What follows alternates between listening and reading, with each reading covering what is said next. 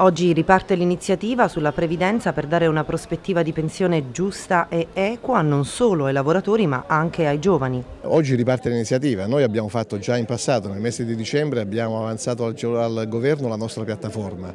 Il governo purtroppo non ci ha manco ricevuto, come vediamo purtroppo in questo Paese vengono rappresentati nel Parlamento e nel Governo una serie di interessi, anche quelli più particolari come abbiamo visto in questi giorni, invece quello che sono interessi diffusi, quelli del lavoro, quello dei giovani, quello insomma, delle pensioni non viene rappresentato, ecco, è necessario imporre questo tipo, questo tipo di agenda.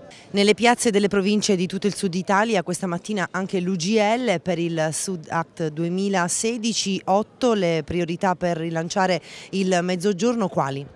Le priorità vanno dall'ambiente, vanno dal, dalle infrastrutture, vanno dal sviluppo ecosostenibile, vanno dall'utilizzo dei fondi strutturali, vanno su tutti quegli argomenti che servono per recuperare il gap che il Sud Italia ha con il Nord.